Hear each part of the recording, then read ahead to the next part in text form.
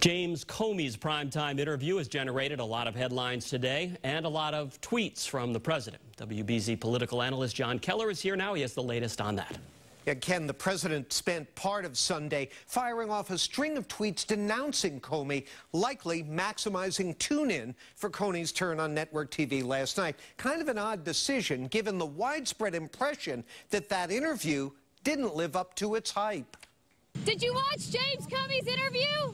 The president didn't answer, but his tweet this morning did the job, accusing Comey of malfeasance in office, lying to Congress, and committing, quote, many crimes. Was President Trump obstructing justice?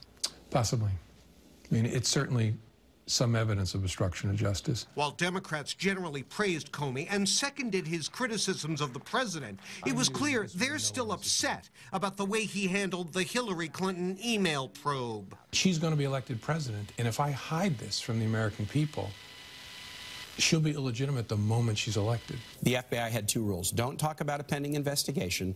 Don't put controversial material right before the public, right before the election.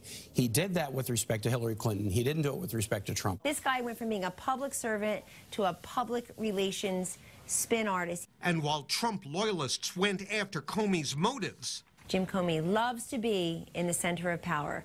He loves to divert the spotlight to himself and be in the center of power. Other Republicans were noticeably reluctant to intervene. I, am not trying to be evasive, but what I don't want to do is, is, is join some food fight, some book-selling food fight. I don't see any value in that. Did you watch the interview, Mr. President? So despite mixed feelings across the political spectrum about Comey, the president is, for now, left to fight this battle largely alone.